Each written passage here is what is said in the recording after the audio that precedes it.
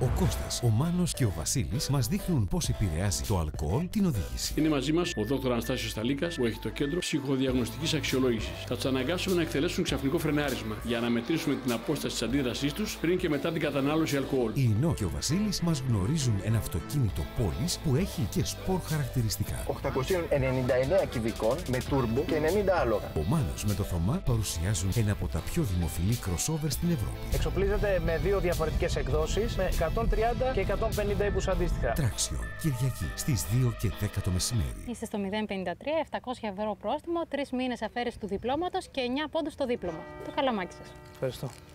Βοήθειά μας.